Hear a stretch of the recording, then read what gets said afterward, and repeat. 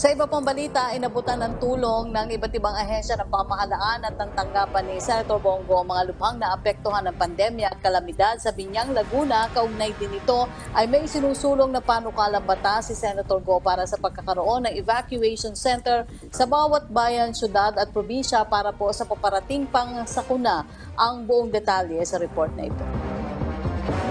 Hirap kumita ngayong may pandemya ang mangingisdang si Richard ng Wawa Malaban, Binyan, Laguna. Dagdagan pa ng epekto ng bagyong Maring nitong Oktubre. Hanggang dibdib po sa amin nung unang sagsag po ng bagyo. Hanggang ngayon po may tubig pa rin po sa amin. Hanggang tuhod na lang po.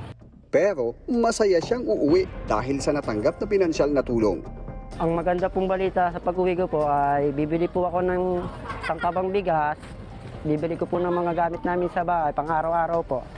Ang natanggap ni Richard na ayuda ay mula sa iba't ibang ahensya ng gobyerno. Dagdag pa ang hiwalay na pagtulong ng tanggapan ni Senador Bongo. Aabot sa isang libong residente sa lugar gaya ni Richard na naapektuhan ng pagkakakitaan dahil sa pandemya at sa kalamidad. Sabi ni Senador Go, tuloy ang pagsusulong niya ng panukalang batas para sa pagkakaroon ng mga evacuation center sa bawat bayan, syudad at probinsya. Meron din po ako na-file sa Senado. Ito pong mandatory evacuation center. Maayos na evacuation center sa mga syudad, munisipyo at probinsya. Meron din po ako na-file sa Senado. Ito pong Department of Disaster Resilience. A cabinet secretary level na departamento. Bago pa dumating yung bagyo, makikipag-coordinate kaagad itong departamentong ito. Preposition of goods at ilikas po ang ating mga kababayan sa ligtas na lugar bago dumating yung bagyo. At pag alis ng bagyo, restoration of normalcy and rehabilitation efforts kagad doon sa mga lugar na tinamaan po ng bagyo o pagputok ng bulkan.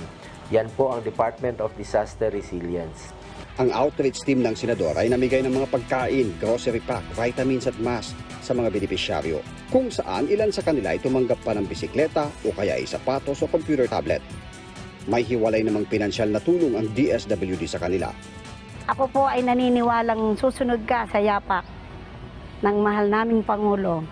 Sana po, harinawa at ipagkalob sa inyo ng poong may kapal na kayo po ang ma- mamuno sa bayan ng Pilipinas upang matugunan ang aming mga pangangailangan. Salamat po kay Senator Bongo sa mga proyekto niya na pinapatupad.